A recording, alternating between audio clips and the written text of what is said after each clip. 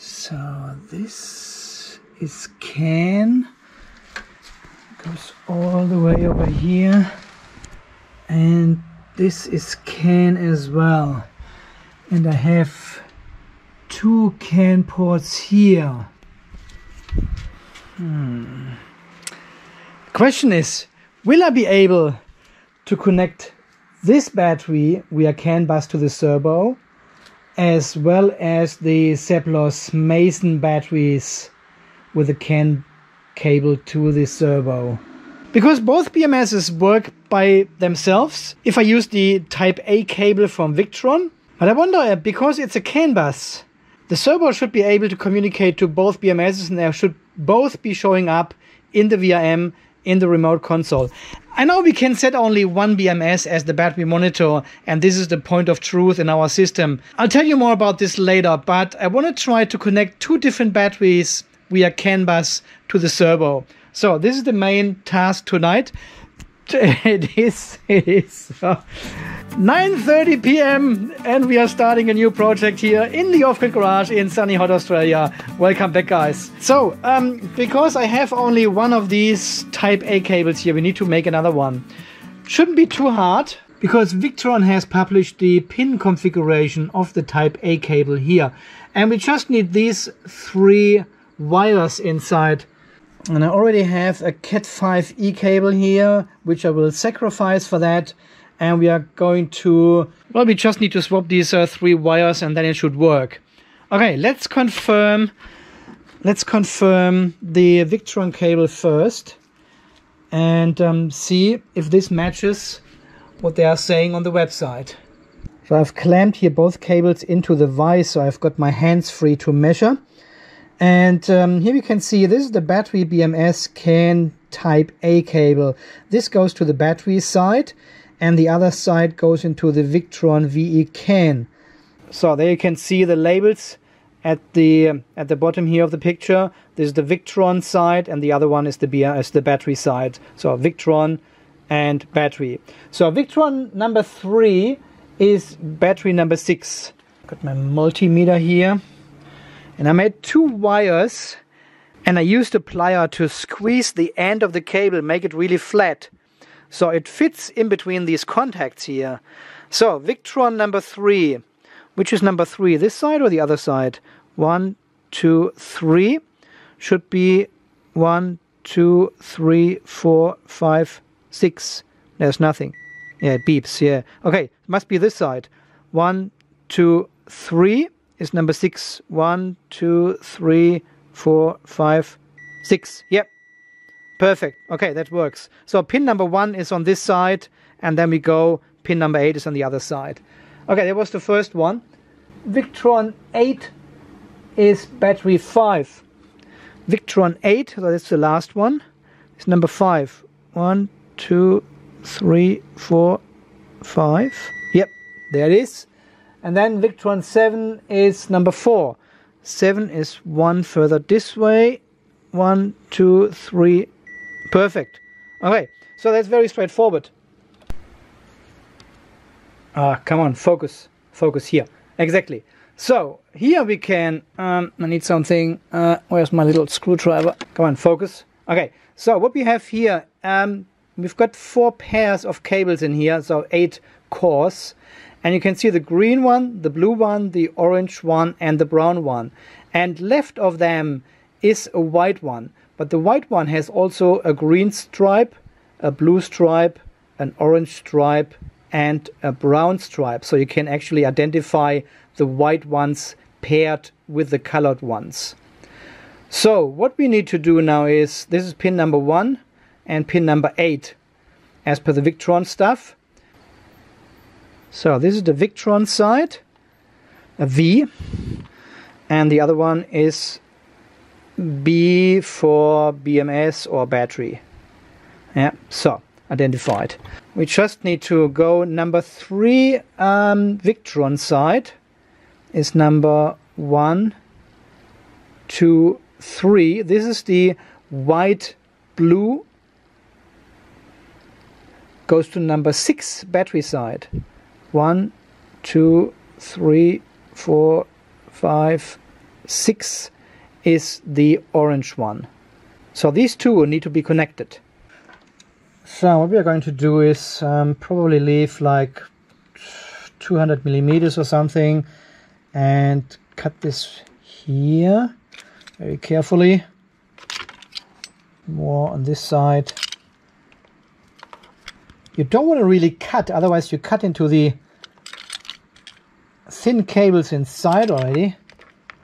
Okay, here we go. And then we take another piece of maybe over here somewhere. So gives us enough access to splice these cables again.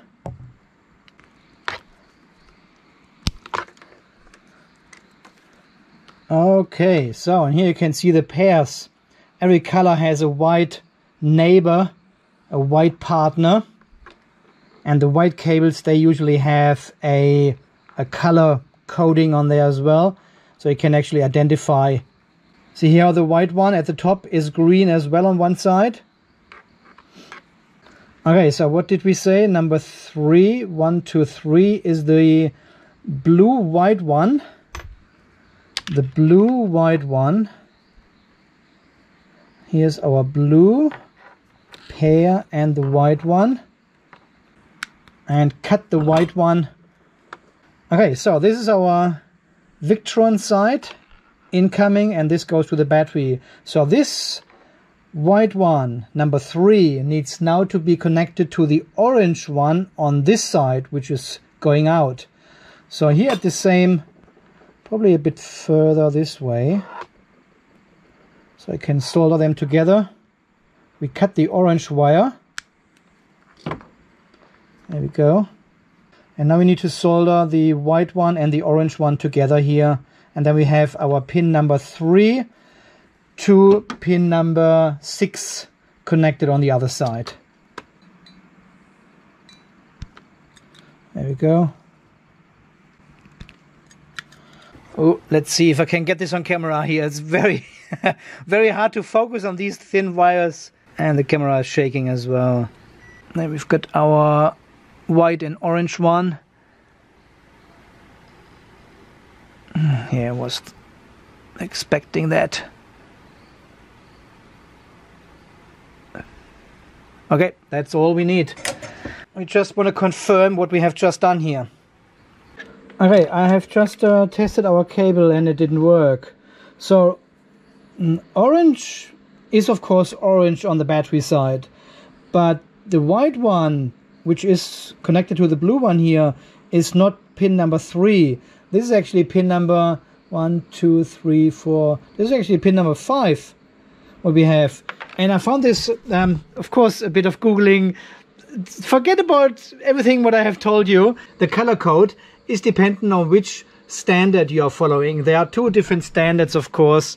Holy crap, eh? For the color code of um, Cat 5 cables. So what we have is the white green one and the green one. And then I thought the next white one is belonging to the blue one, but that's not the case. So blue and white blue are in the middle. This is the white orange one, which belongs to orange. So this pair is just stupid. Okay, so we have to find the other white one and then we connect pin number three. well, uh, yeah, well, it is what it is. Okay, so let's check this one out now. So pin number, let's see if it works. Here beeps. Pin number one, two, three. Should be pin number six on this side. One, two, three, four, five, six. Perfect. I got it. Okay, you have to be very careful with these color codes. Okay, I'll do the other two as well, and, and then we have another look. So number number eight is the brown one on this side, and number five is one, two, three, four, five. This is the blue white one we had before. So brown on the Victron side and white blue on the battery side. And the last one is pin number seven to pin number four. So pin number seven is white brown and number four is one, two, three, four, the blue one. So white brown, Victron to blue battery.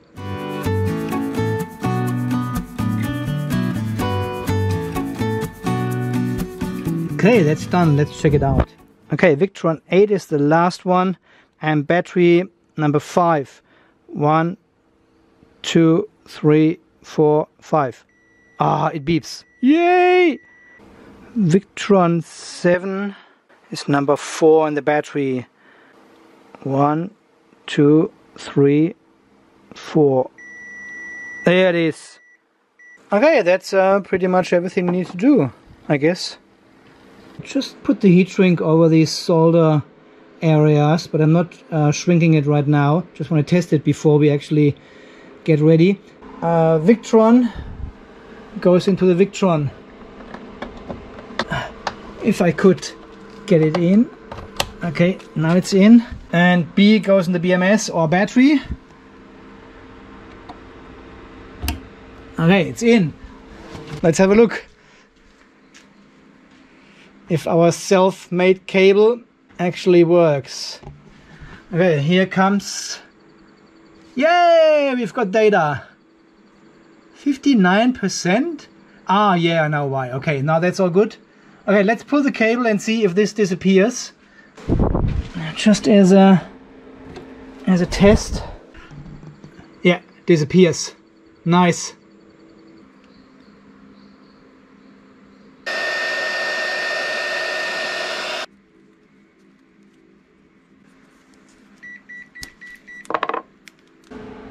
Okay, the SPAT calibration center.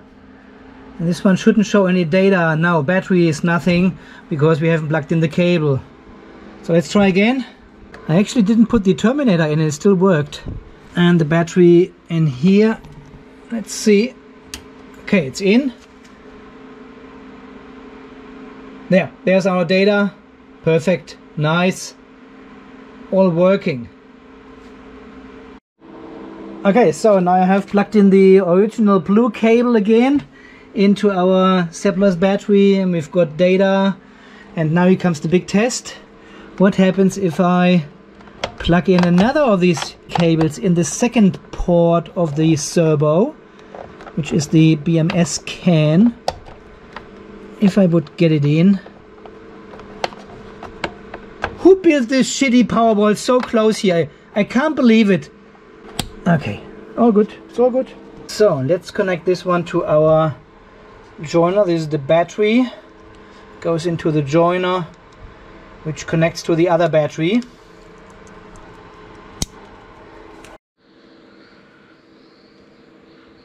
Okay, so here's our remote console. This is the Seplos BMS we are seeing here.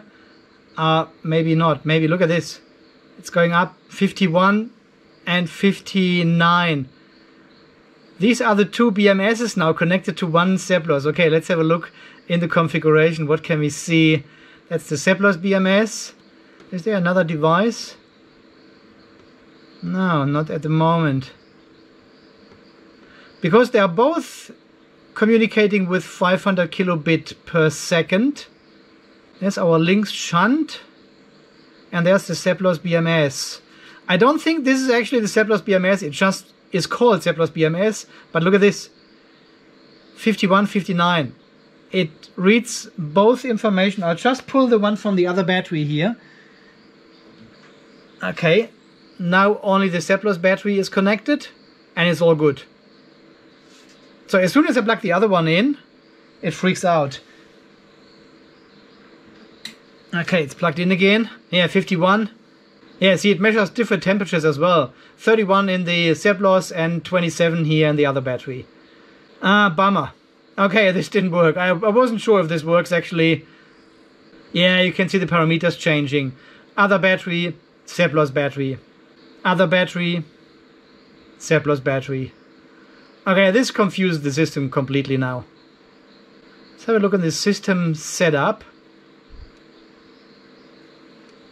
The. So is there another one showing up? Or is it just under the same name and that's and that's why it flips between the two BMSs now?